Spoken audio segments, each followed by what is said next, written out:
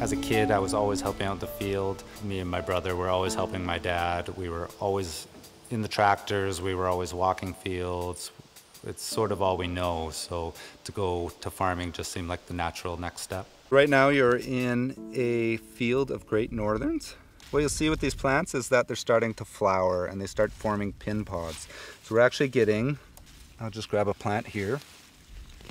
We're actually getting the beans to start forming on these plants. This is also the time where diseases come in. So this is usually where you get your first uh, fungicide application. So these have been sprayed. Once they get around that 20-30% flowering, these little flowers here, that's usually when you want to get into your fungicides because you really want to protect these plants and what they're going to go through for the next couple weeks. These beans so far are faring really well. We can expect roughly 3,000 pounds for yield out here. I think we'll get it on this field. We've had the, a little bit of hail damage on this field, but I don't think it'll affect the yields at all. And so far I don't have any disease, but we're expecting it to come here soon because it always seems to show up in a week or two. I actually live in farm in Bow Island, which is actually the bean capital of Alberta. So it's definitely one of the areas where beans thrive.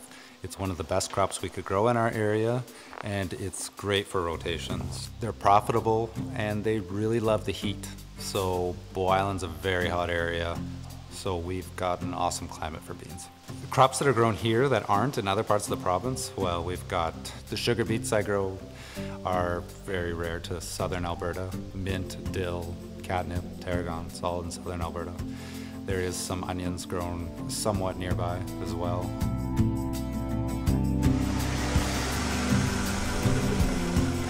The irrigation has helped out Bow Island dramatically. Just the crops here are not possible without irrigation at all.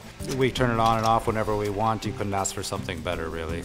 I'm constantly checking the fields and we're constantly checking soil moisture. Some of our fields, we have actually probes in the field with solar panels sending us data to our cell phones so we can see just how dry that field is just to be super accurate.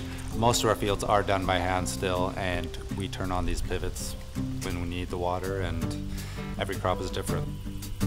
Trickiest thing about beans would probably be the mold issues. Mold and mildew just seems to show up with our irrigation, so a lot of it is managing the irrigation correctly.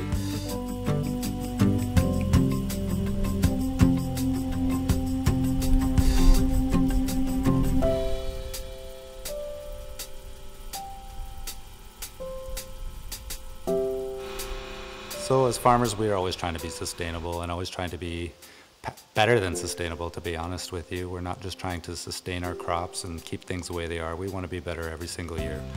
We need the land to do well and we need the land to be productive as possible and we need it to be productive for a long time. So if we're not doing the best we can for our land, well, where are we going to be in 10 years? There we go.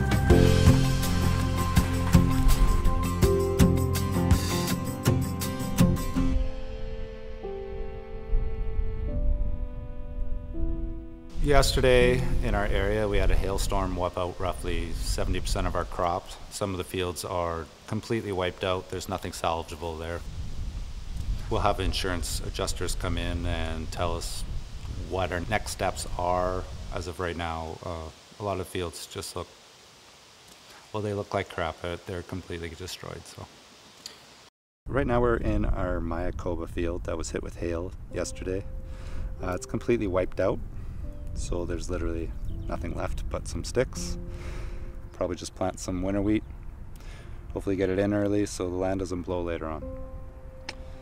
Yeah, it's 100% uh, damage, so completely wiped out. Last year we had drought and this year we got hail, so we get a real mixed bag here in southern Alberta. And you really have to love what you're doing. You have to love planting the crops and watching them grow and the majority of the time you get to harvest that crop and that's really what we're looking forward to every time, is just being optimistic and trying our best. And the future of farming, I hope to see better genetics always coming down the pipeline and new crops. Nothing's more exciting than seeing a new crop show up in our area. An example would be when lentils and peas started coming in. A few years ago, hemp started coming in. There's lots of opportunities in this area. I wouldn't say I necessarily chose to farm. I've always farmed my whole life, and it's what I've always known.